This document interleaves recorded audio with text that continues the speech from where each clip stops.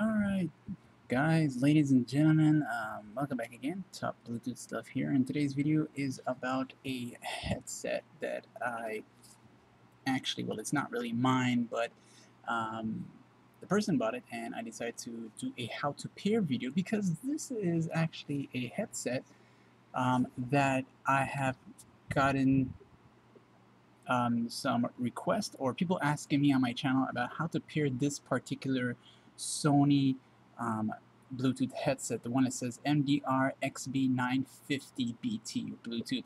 Um, this headset by far is one of those Bluetooth headsets that you have to, well actually it just, it's a bit different to pair compared to others. So in order to pair this thing, um, the first thing you want to do of course, um, I'm going to do it with the Samsung Note 3 for now and then when I get the other phones I will, um, I'll show you guys how to pair it with the um, with other phones like the iPhone 5, 6, and all that other phones. So you want to turn on the um, Bluetooth settings on your phone first before you do anything.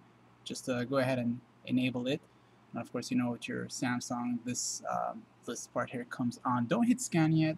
Gonna rest this thing down. Now on the Sony, um, this thing turns on as you hit the power button. I think within the two second period, you'll notice the blue light comes on, right?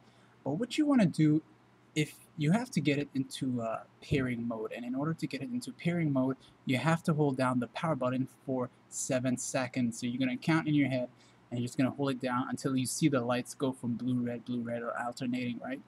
And once once you get it into that that means it's in pairing mode. So you're going to hold it down.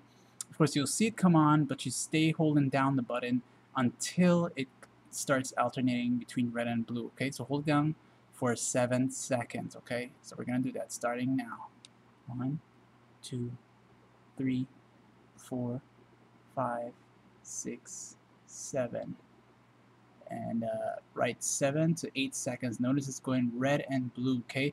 That's, you, you got your uh, headset in pairing mode. Once you get it into pairing mode, uh, now you go ahead and go back to your phone, your Bluetooth, go back to the Bluetooth settings. Uh, over here, and um, you're just gonna go ahead and hit scan again. So scan. And um, it's gonna show up down to the bottom. There we go. MDR uh, XB once you see it there just simply tap it. And it's gonna appear for you. And voila. And that's basically it.